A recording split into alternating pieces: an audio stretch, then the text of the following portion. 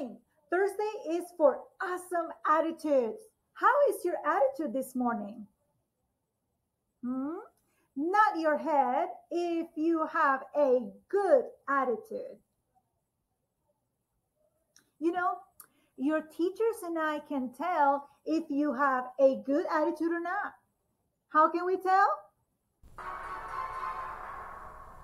Well, we can tell because attitude is a way of thinking or feeling that is shown in a person's behavior or actions.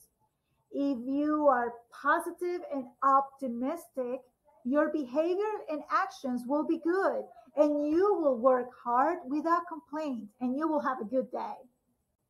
A person with a good attitude will have what kind of behavior? Yes, good behavior. A poor behavior is a sign of what kind of attitude? Yes, poor or bad attitude. Mm-mm. Here's a big question. It's a trillion dollar question. Ready? Okay. Who decides if your attitude is good or bad?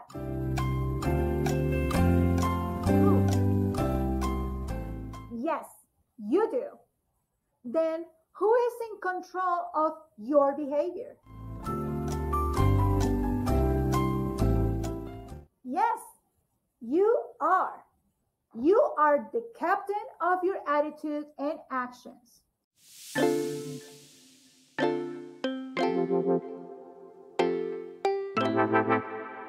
Every day when I came to school, I noticed that the flag was a little ripped. So then I told my teacher, and then she told Sulky, and then we got, and then they got a brand new flag, and we put it up today. The reason you cannot let the flag touch the ground is because that, if you do, that would be disrespectful f- to the U.S. and our nation. Don't just when you when it's Fourth of July and you have those little flags. Don't just throw them away when when it's done. Keep them, and don't let them touch the ground. Please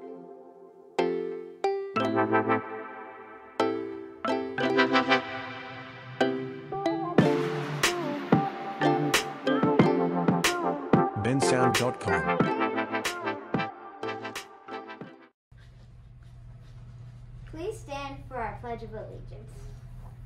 I pledge allegiance to the flag of the United States of America and to the republic for which it stands, one nation, under God, indivisible, with liberty and justice for all.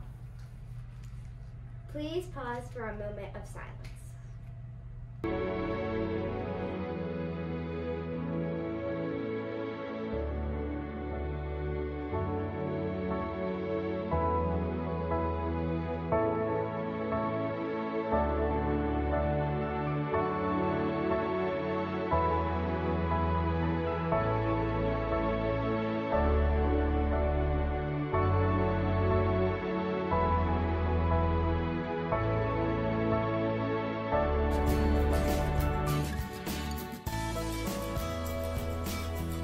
What's for lunch today?